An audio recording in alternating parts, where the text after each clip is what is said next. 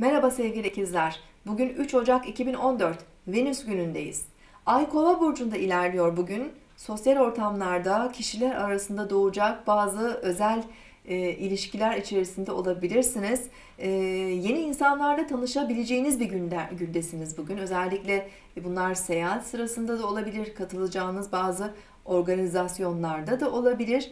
E, bugünlerde başlayan ilişkiler özellikle iş yaşamınızda önümüzdeki günlerde sizi etkileyebilir. Burcunuzu dinlediniz.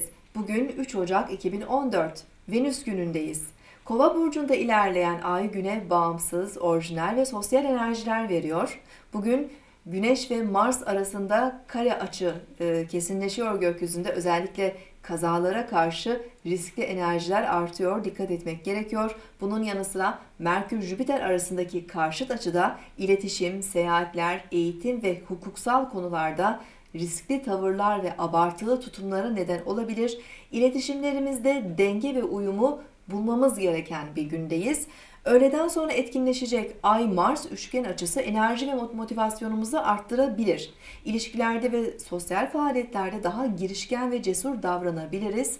Ee, ancak e, Güneş-Mars etkileşiminin e, sert olduğunu da göz önünde bulundurarak gün içerisinde riskli hareketlerden kaçınmamız gerekiyor. Yarın tekrar görüşmek üzere. Hoşçakalın.